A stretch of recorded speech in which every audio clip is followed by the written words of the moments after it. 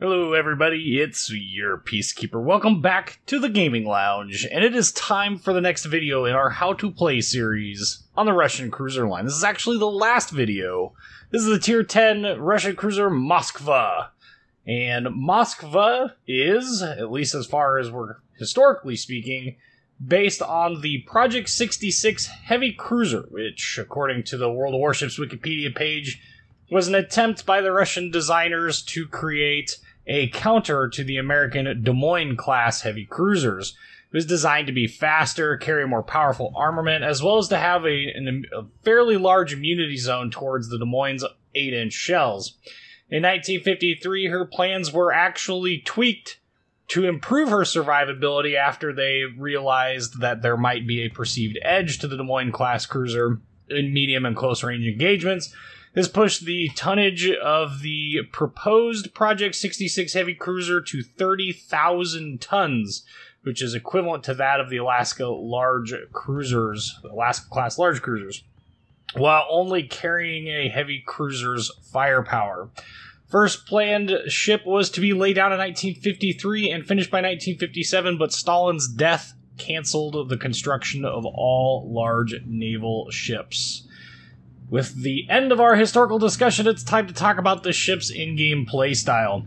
Moskva is very much the same overall playstyle as Dmitri Donskoi. However, her armor, hit point pool, and faster loading higher caliber guns do change that dynamic quite a bit and can make Moskva a situationally fun tier 10 cruiser to play. And what I mean by that is, is Moskva's ideal environment is very similar to I'm, I'm going to say the Des Moines in that when you have lots of islands that you can just poke your nose around, Moskva actually does really really well. In open maps, Moskva can be kind of frustrating to play if you were trying to get a lot of Citadel hits. If you want to sit at max range and burn everything, you can actually do that. Moskva does have a viable build in the ranged fire starting department.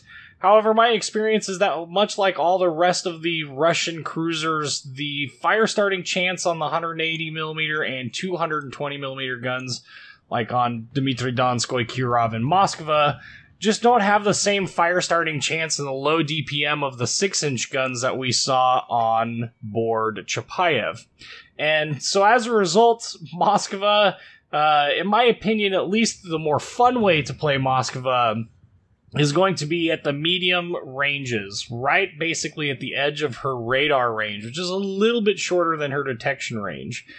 And the large caliber guns can actually make for very interesting gameplay. They are one of the fastest shells in the game. The AP does a significant amount of damage and they reload reasonably quick. And that can make for a very, very fun playstyle if you are going to get cruisers that are willing to show broadsides at relatively close ranges. The problem is, is that her size extremely poor concealment and massive citadel can also make her die rather quickly, thus she sits really in that awkward position between a battle cruiser and just a standard heavy cruiser. The 50mm bow plating here actually can bounce Yamato shells when nose on, however, 25 millimeters above and below it means that any shells launched from any range are going to come down and plunge into this rather ridiculously massive citadel. And as you can see, the citadel's armor is only six inches in the sides and about seven from the front. Six and a half, seven in that range on the front. And yeah.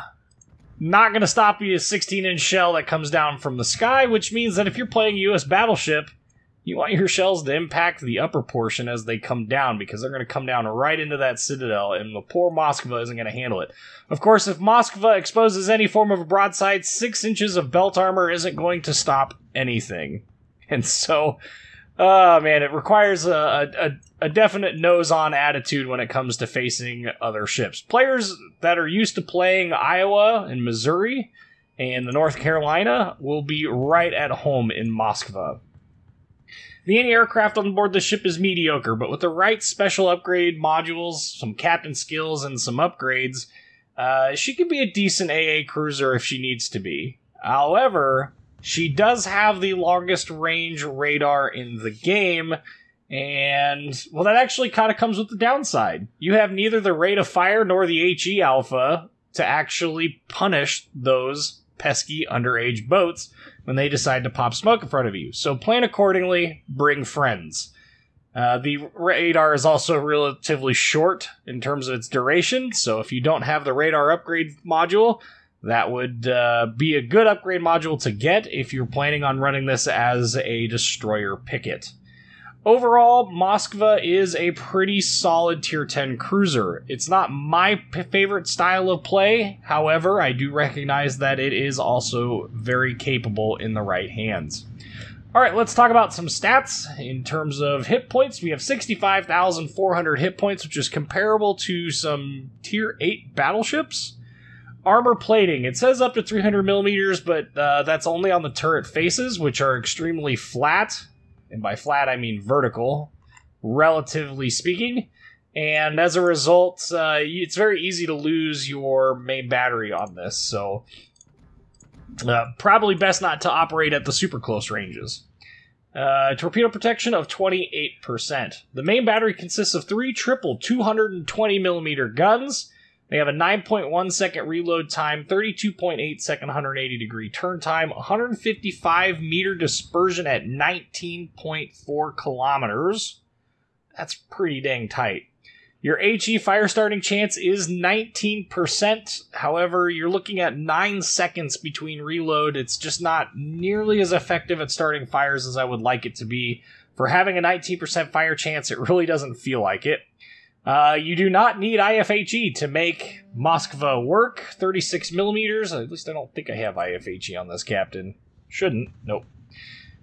Can't even get it, according to this. Okay, well, that's news. So, uh, 19% fire chance, 36 millimeter in terms of HE shell pen. The AP shell does 5,800 damage, and these things are coming out at 9.1 seconds. Ugh, that's that's potent. 985 meter per second shell velocity for both AP and HE.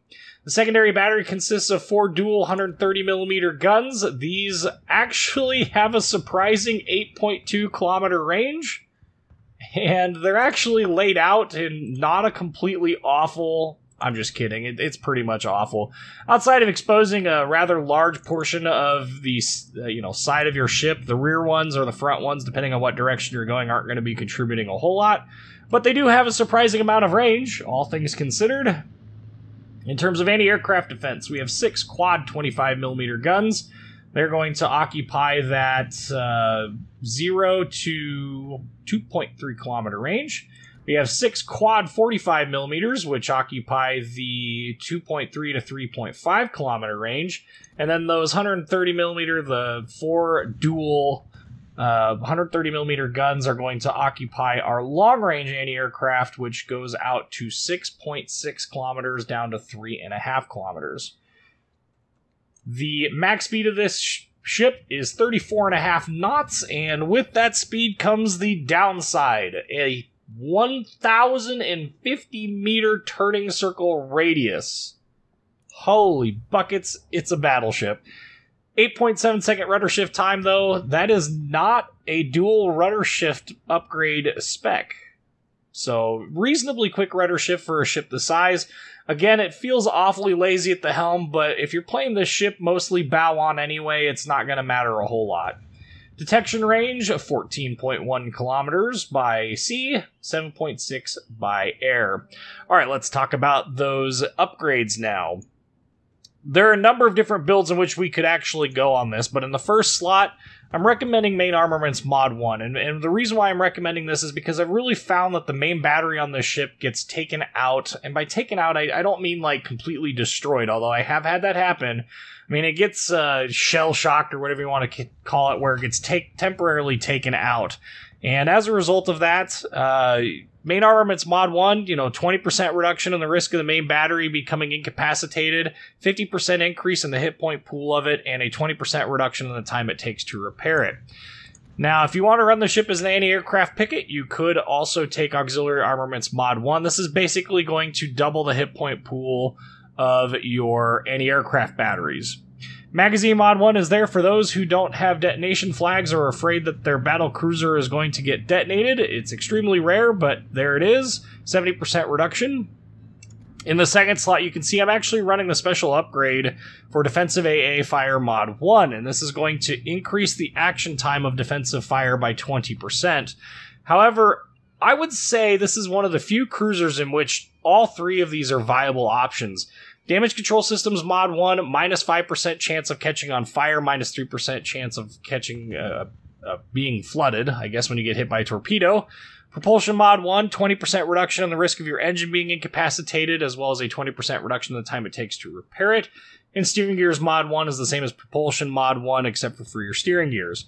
The reason why I finally say Damage Control Systems Mod 1 is actually useful, it's because you have a hit point pool in which this can actually be utilized. The minus 5% chance of catching on fire is important when you're dealing with pesky cruisers at longer ranges uh, that are HE spammers. Ow. Sorry about that. Had a bad cough. Uh, but uh, if when you're dealing with ships like that, the ship does get started on fire relatively easy. So, especially since you're mostly stationary or not moving super fast. So this does actually have a viable build, but I've chosen defensive AA fire because, uh, well, carriers are a thing again. In the third slot, I'm running Aiming Systems Mod 1 for the 7% reduction in the dispersion of your main battery. And that's about the only reason I run that mod. It does also increase the secondary battery firing range by 5% and decreases the dispersion of it by 5%. However, secondary battery build on this ship is useless, so please don't run that. You could also run AA Guns Mod 1 for the increase in the number of explosions from long and medium range AA by 2.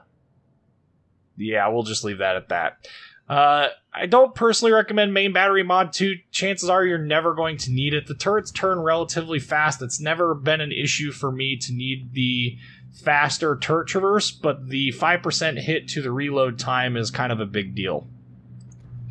In the fourth slot, I am running Steering Gears Mod 2 for the 20% reduction in the rudder shift time. Some people are going to ask, Propulsion Systems Mod 2? You could, if you plan on spending a lot of time stationary, Propulsion Mod 2 could be of use. Just keep in mind that you're increasing your rudder shift time uh, to just over 10 seconds. That's a fairly long rudder shift time, and in my opinion, not very comfortable. I personally prefer Steering Gears Mod 2 so that I can sometimes evade fire at longer ranges. You could also run Damage Control Systems Mod 2, once again, going back to the second upgrade slot, this is going to take your fire extinguishing time and reduce it by 15%, as well as the time it takes to recover from flooding by 15%. And this would fit in with the survivability build, if you will. For me, Steering Gears Mod 2, that's my cho- choice for survivability. Avoiding fire is better than taking fire. In the fourth, fifth slot, math, I have chosen Concealment Systems Mod 1 for the 10% reduction in the ship's detection range. Also, the 10% reduction in the detection by aircraft, as well as a 5% increase in the dispersion of shells fired at you. You could also take Steering Gears Mod 3, but once again, we're talking about adding 10% to your uh, concealment, and I just don't know that it's worth that. The ship already can be seen from space and has very little counters to anything heavier than, uh, you know, say a 16 inch shell or heavier. So personally, I would not uh, recommend running that mod here. That's just my opinion. Uh, target acquisition is mod 1 on this cruiser, not worth it. In the last slot, you can see I'm running main battery mod 3 for the 12% reduction in the time it takes to reload the main battery. This does come with a penalty. It does slow down your turrets by 13%. However, I found that the main battery reload definitely outweighs the punning the punishment in terms of the turret traverse. So for me, I highly recommend running the main battery reload. Now, you could also run AA Guns Mod 2, which is going to increase the DPS of your AA guns by 15%. You could also run Gunfire Control Systems Mod 2 for an extra 16% in range, but I definitely wouldn't recommend running Secondary Battery Mod 2. That's all we've got for the import stuff. Let's go look at this in a battle video. Alright, so as you can see here, I'm div- divved up with Hawk USMC and TL Warlord. And uh, this match is going to be one of those rare high tier matches on uh, Shards. I almost said Haven. That's also a pretty rare map to get at the high tier, but Shards is even more rare. And of course, this is a different version of Shards that I remember. This this was a bit of a shock to me. I, I wish I had the TeamSpeak recording for this because uh, I was pretty shocked. This is the first time I had played Shards uh, in a long time, let alone at tier 10. So this will be an interesting fight. But we're gonna go. We're gonna find this island that's basically straight ahead of us, and we're gonna look at the sea cap, and we're gonna we're gonna go that direction for now. I will tell you, this is not a victory for us. This ends up in a loss, but this does showcase the strengths of Moskva, especially at the medium to close ranges.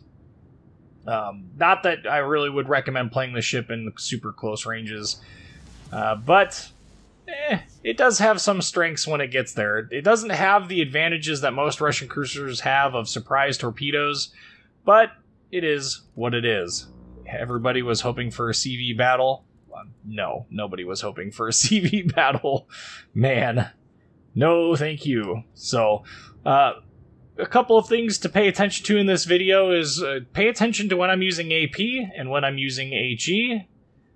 Pay attention to how I've got myself angled, what I'm putting between myself and an enemy incoming fire, and really Moskva is about mitigating damage intake as much as you can to stay in the fight as long as you can. Uh, she can be durable. It just depends on what's shooting at you, what angle you're presenting, and whether or not you can bait them into shooting that 50 millimeters of armor at the belt line. And we are going to see a little bit of the power of Moskva's 50 millimeter front bow plating in this video. The other thing to, to pay attention to here is the use of different consumables. Now, obviously, we have defensive AA fire, and that's pretty much a useless skill in this match because there is no AA, so we won't see that too much, but we will see some radar usage. We will also see some of our heal used up here. So, on this map, my experience has always been that there's going to be teams that decide to come this way, and I was not wrong. Okay, so we've got ourselves a Montana, but island we got a shell over. A singular AP shell made it over. Okay, we got a Battleship Hindenburg. That's gonna get some shells over. Can we get a Citadel? Nope, we are a little behind. Okay. Uh, normal penetrating hit that did zero damage. Thank you, Wargaming. And now it's a matter of just seeing the targets. Of course, T Warlord is uh, in his Yugumo over here doing his best to try and uh, spot, but the rest of our team basically abandoned us on this on this flank, which I guess isn't horribly surprising. Okay, there's Montana. Tirpitz, can't sneak any over that. I don't know that we're going to get anything there either. We got one shell over once again. And an overpen. Our first damage. Was hoping that Des Moines would come out of there. Alright, well this isn't working. Let's speed up. We need to go help Hawk. He's in a really bad location. He's taken all the enemy fire. Do you need to pay attention to what's going on. Oh my goodness. This is this is one of those th times when having a carrier would be nice for the, the extra spotting, but really what I was hoping that I would be able to do here is work my way around these uh, islands here to actually start flanking this enemy force. But what I found is is that nope, we're going to go ahead and we're going to pop our radar. There's a enemy gearing. So we'll go ahead and we'll engage the gearing. We're obviously detected by something else. And as you can see, 2,000 damage with two shell hits. I mean, that's... It's not horrible, but it's not great either. I, just not... Uh, another shell hit there. And with that ends our joy in air quotes, if you can call it that, of, of shooting at the gearing. That's what I was talking about with the radar consumable being pretty short lived, and with that comes some added frustration. So we've switched back to armor piercing. We have uh, Montana here that we're going to go ahead and we're going to engage. Again, working our hardest to keep. Oh, we got a Citadel on a Montana. Yeah, that just happened. Yeah, that's the kind of AP pen that we've got. And as you can see here, 6,000 damage. We took out an AA gun mount in there. Okay, so we're going to start backing up a little bit here. 2,300 damage. That's not very good. We're just going to have to focus the uh, ship down. Oh, okay, she beached herself. Normally I'd be concerned about this Yugumo, but I really want this Montana dead because it's a tier 10 battleship. We need to get its firepower out of this match if we can. And so I've told Hawk to just go ahead and continue to focus on the Montana because he has the more powerful guns. We can obviously negate the damage from the Tirpitz because the Tirpitz 15 inch guns will not go through. There's another Citadel on the Montana. The Tirpitz's guns will actually not go through the bow armor of either a U.S. battleship, or sorry, U.S. heavy cruiser like uh, Baltimore or Buffalo or Des Moines. And so as a result, we uh, we don't need to worry as much about her as we do the 16-inch guns of the Montana. So there's our last salvo out. Those torpedoes are going to find him. Now it's on to the Tirpitz. And as you can see here, we're backing up. We're doing a pretty good job of mitigating damage. Hawk is taking it all, unfortunately for him. And the downside to this is our back is to their enemy team. I have no idea where that gearing is at. Uh, Wargaming Dispersion is not cooperating, so bow on target, not doing so hot. And now his secondary has come into play. Of course, he starts moving forward, and that's when my shots start just missing altogether. So now we're dealing with his, uh, you know, secondary battery mostly. And as you can see there, just go ahead and ignore basically all of his damage. So the key to this engagement so far has been to not overextend, mitigate what avenues enemy ships have of damaging you, and then finding creative ways to uh, reposition yourself without too much issue. That Yugumo is really annoying though. Hindenburg. We have a Des Moines over here as well that I would like to kill. Be nice. Mr. Khabarovsk. Uh-oh. Uh-oh. Even worse. Torpedoes incoming. Uh, Tirpitz just got nuked by Warlord. We've got that broadside Hindenburg, so I'm going to go ahead and shoot at him. Three overpens. I'm exposing enough of a broadside that this is actually a bit of a problem. If he shoots AP it'll at me, it'll be a bad day. Ooh, there's 13,000 and a kill. And that's what I was talking about. You get a broadside cruiser and this ship will just punish it. Broadside battle, I mean, heck, we got two Citadels on a Montana for crying out loud. It's not like Montana is poorly armored by any stretch of the imagination. So at this point, uh, there's a Des Moines over here, there's also this Yugumo. Uh, anything we can do to engage either one of these and actually kill them would be amazing, so we've turned on our radar to keep the Yugumo spotted while also trying to spot the Des Moines. Trying to get some good hits lined up for the Des Moines, but as you can see, oops, took out, ooh, an overpen somehow. As you can see there, we're, we're angling our best to try and keep the Des Moines in check. So once he's, uh, you know, back behind the island here, I guess we can, uh, I don't know. We'll just we'll just kind of play this by ear. Moskva has enough armor that I think we could quite easily uh, tank Des Moines for a little bit anyway, while bow on. Ooh, look, coming around the corner here.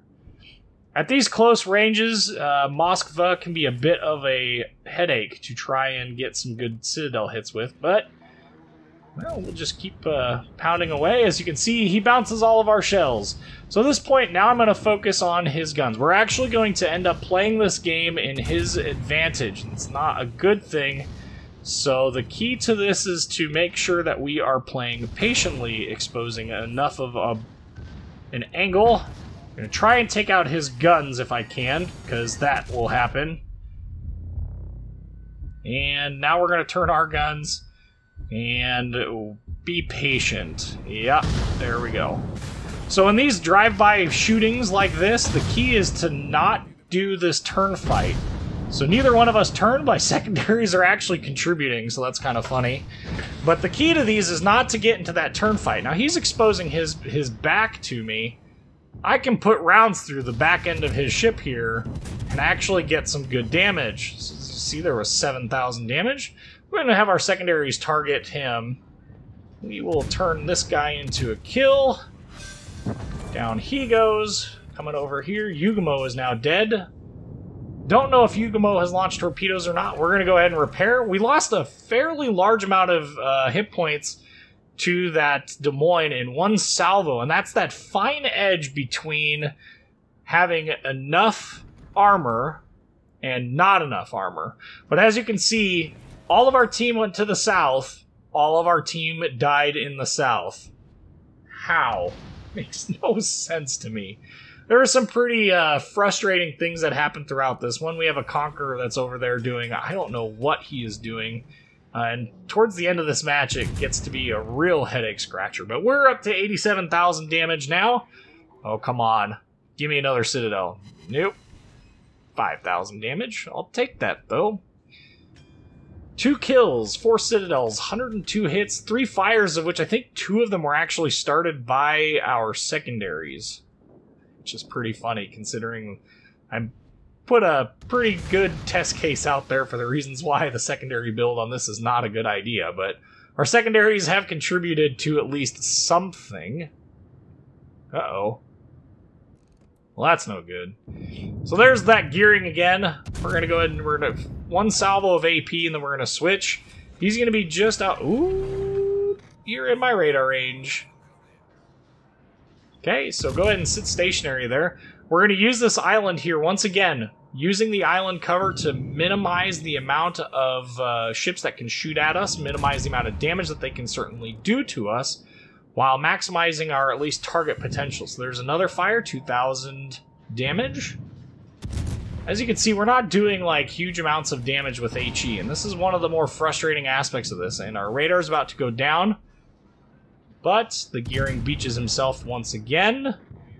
So now we have the opportunity. You can see I'm starting to turn so that I can get the back turret into play. We need to be careful because I don't know what the Buffalo is currently doing. Okay, and there goes the gearing. That's why I started to go forward and back, and that's what I was worried about. So we have a we have a problem. The Buffalo is coming around the edge of this island. I don't have any way to see him. Our Conqueror's over at the sea cap doing. Well, he's capping the point, which. That'd be admirable if we were actually, you know, going to win this fight via capping. Should have probably capped that before. This is a bad position. This is really bad positioning. That's going to hurt. Oh, managed to avoid significant damage. Okay, so get one more quick salvo off. Had AP loaded. Try and angle as best we can. Whew. We got real lucky there by not getting another Citadel, and that Buffalo is actually on fire. Ooh, Kronstadt.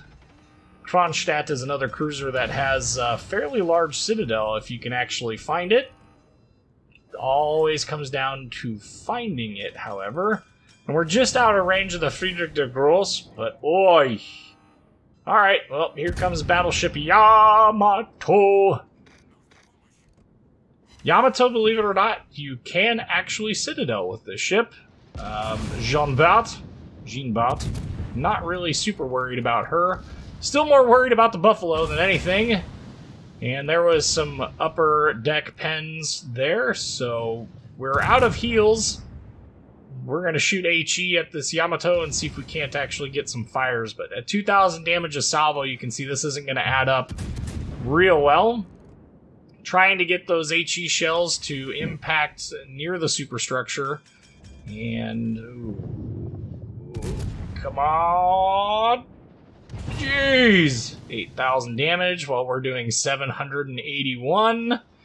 HE shell damage, not the best. And we're going to get about one more good salvo before we end up underwater. That said, we did manage to get three kills here. We did manage to do a fairly decent chunk. Ooh, Kronstadt, overmatching the front armor. Nice. And 136,951 damage. Ooh, we're in the 137s. How high will it go? That looks like it's it. So we got three kills, 137,726 damage. You saw the advantages that the ship can have with regards to its relative durability. Had I been in a Des Moines, Yamato would have definitely made short work of the um, short work of, of Des Moines. I, I, just the Citadel on Des Moines is too large. There's not enough, uh, obviously, not enough belt armor in the front to actually make it work. Don't know what this Conqueror is doing. Why are you sailing broadside to their whole team? Maybe maybe it's because he rightfully believes that this match is basically over. But uh, seriously, don't make it super easy for them to get huge damage numbers. Come on, man. But um, there's there's definitely a, a, good solid case to be made that uh, you know Moskva in the right hands at the right situations can really have some distinct advantages, and we actually got to see the, those advantages. We took a flank that had three battleships, a heavy cruise, two heavy cruisers, and a destroyer, all the way up here at the C cap, and we were able to push through it. While the bulk of our team, and that was just three of us, basically, that four of us that were able to do that. While the bulk of our team went to the other cap and ended up all dying. So there goes our Conqueror, and that's the end of the match. So in the right hands, at the right play, you can actually accomplish quite a lot in Moskva as we wait for the UI to load.